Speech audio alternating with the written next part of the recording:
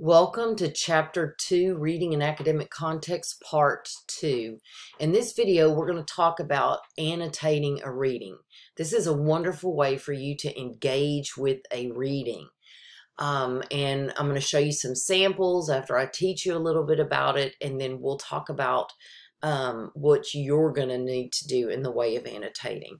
So when we talk about annotation or annotating a reading, we are talking about that process or that act of adding commentary or notes. There are several techniques that you can use for annotating. One is highlighting. Now, I know a lot of people um, are afraid of highlighters because somewhere along the way someone told them only highlight what's important. And when all the information's new, it's kind of hard to decide what's important. Don't be afraid of the highlighter. If you highlight the whole thing, then if that's what works for you, great, whatever. But highlight those things that you might think are important. Okay? Underlining or double underlining or using squiggly lines. Those are other ways that you can annotate. You sometimes you might want to circle something as you're reading or put a box around it. That's another technique for annotating marginal notes, putting those notes out to the side of um, what is already written in that text.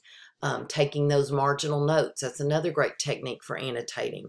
And the, then, of course, using any symbols, like maybe there's something you don't understand and you've read it several times and you still don't understand it. Put that question mark. That way you could maybe ask your instructor about it. Um, you can use asterisks by um, information you think is important or a particular line in there that you think is really important. I use a combination of all these when I'm reading something. Um, you're going to have to find what works for you. All right. Now, let's talk a little bit about um, marginal notes. Many of us have already acknowledged that we have focus problems. Many of us have had that experience where we finish reading a, a whole article and we don't remember what we just read. Well, I don't know about you, but I don't want to have to read the whole thing over again. I don't want to read that whole chapter again because I don't remember what I was reading. So what I do is I check in with myself every paragraph or so. I'll, I'll get to the end of the paragraph. I'll stop. I'll say, what was this paragraph about? If I don't remember, if I don't know, well, I've only read one paragraph. I haven't read the whole thing. So I can go back, I can reread that paragraph. When I can answer the question, what is this paragraph about? Whatever that answer is, I'm writing that in the margin. That way, two days from now, when I go to look back at this before my class, I will remember reading this and I will see my little notes. Every paragraph, there's a little note about what it was about. And so marginal notes are great. They help you review, they help you understand, they help you remember. But I don't just do only marginal notes. I'm also underlining, circling, putting question marks, highlighting, doing all those things. So really work and engage with this. Here's another thing we know about annotation. If you are writing and if you are um, underlining and taking notes and doing all this, you are actively engaged in that reading. And you will be more likely to remember, especially those of you that are tactile kinesthetic. Remember, you've got to move in order to learn. You've got to touch things in order to learn. Guess what you're doing when you're annotating? You are touching it, you are moving, you are learning. All right, so we're going to take a look at some sample annotations. This is one from uh, a short story called Salvation. And this is actually from my textbook. You see squiggle lines, underlines, marginal notes, okay? Um, anything, questions, anything that pops in my head when I'm reading this, that's what I'm doing. Most of the stories that you will read, there will be not only the title, the author, there will be some information about the author and about his writing, okay? Um, so some of my pieces are filled even more. Others are, you know, look like this. Here's a piece that this was an essay that was written by someone else. Um, and so again, you see my annotations. I've circled, I've highlighted, I put brackets around things, I've asked questions, marginal notes. Here I've identified a rhetorical question that was used. Here, this is a topic sentence. This was a topic sentence.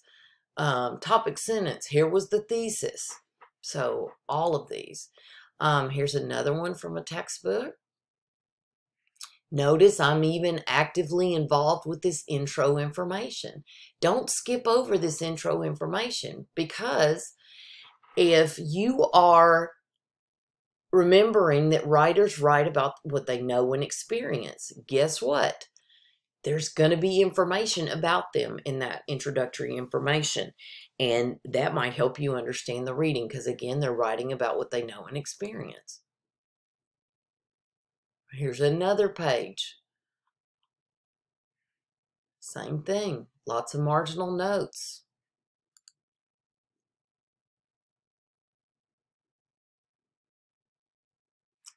At the if you're reading a chapter in our book at the end of the in or you're reading a reading from our book at the end they're going to have some questions some things for you to think about those are very important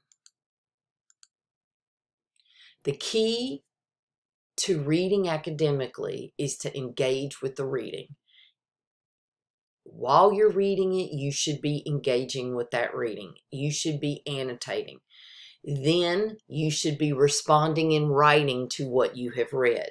If you'll take a few minutes after you've read something and just go to a piece of paper, go to your laptop, go to, you know, your notebook, whatever, and for a couple minutes just write everything that comes to mind about what you've just read you'll be surprised at the depth and the uh, uh the importance of some of the things that you write down that you didn't even know that you understood now, you are going to be practicing your annotation. You have a story in your book called Only Daughter by Sandra Cisneros. I also have posted a copy of it in um, your Blackboard course. And in fact, if you'll look at your syllabus schedule, it will tell you where to find it. So you're going to read that story. As you read it, you are going to be annotating using several techniques. Okay, I want to see several techniques used. Then you are going to either take pictures with your phone of these pages and upload all those pages to the assignment submission location or there is also on your phone, um, if you have an iPhone, you have a um, Notes app.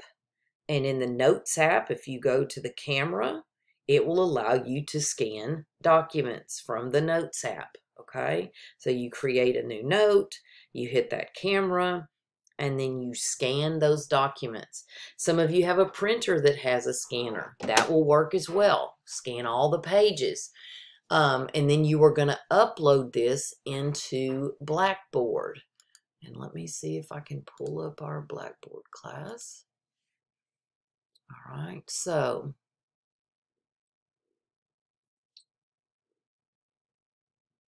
in the Unit 1 narrative, only daughter, you see only daughter annotations. Okay, so scoot this over so you can see it. It's due Friday. You can, you are going to attach files. So you're going to browse your computer wherever or your cloud storage, wherever it is you have saved those scanned pages. So if you take it with your camera, you're going to need to send it to email it to yourself. Okay, you're going to need to open it on your email. You're going to need to save it so that then you can upload it here. But you will you will attach those files, okay, those various pages. Now, if you have a printer scanner, you're probably going to print you're probably going to scan them all into one dot one page, one document, okay? Um, if not, you'll be allowed to get several attachments here. Um, then you're going to click submit, okay? So that concludes this video. Now you should know a little bit more about um, how to annotate and to engage yourself with that, whatever text you're reading. And now you know about your homework um, in Blackboard.